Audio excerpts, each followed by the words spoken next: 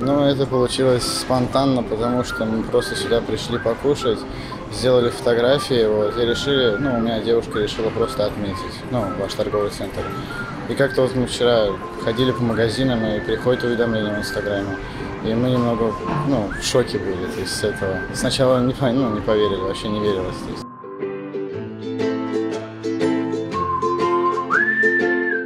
Ну, мне трезубец понравился, и вон тот сундук с сокровищами.